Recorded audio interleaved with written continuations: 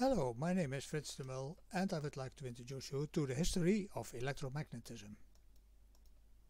Here is the overview. It starts with Franklin around 1750 and Franklin was a man who realized that lightning in fact is an electric phenomenon.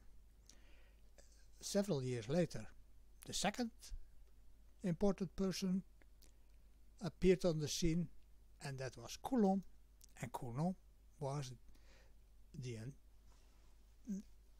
was the first one using the electric charge and he derived Coulomb's law, the attraction and repulsion law for electrical charges.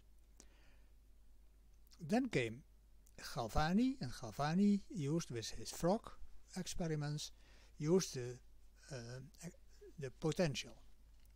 The same for Volta in his first battery then came Ampere, and Ampere introduced currents, electrical currents, anti-Ampere and the law of Ampere.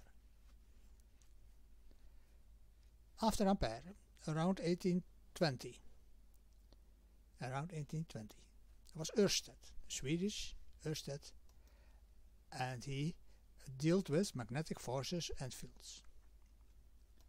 Then Gauss, Gauss more a mathematician, and he helped the field with his surface and volume integrals. Then Faraday made magnetic induction and potential. Around 1850 there was Helmholtz. Helmholtz introduced the magnetic fields. And then Maxwell came and unified electric and magnetic fields in his field equations. Lorentz around 1900 with relativistic effects in combination with Einstein.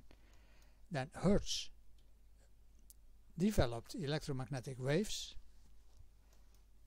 Millikan determined the electric charge, uh, the electric charge of the electron, and then Marconi with the invention of radio waves. And then after Marconi came a lot of people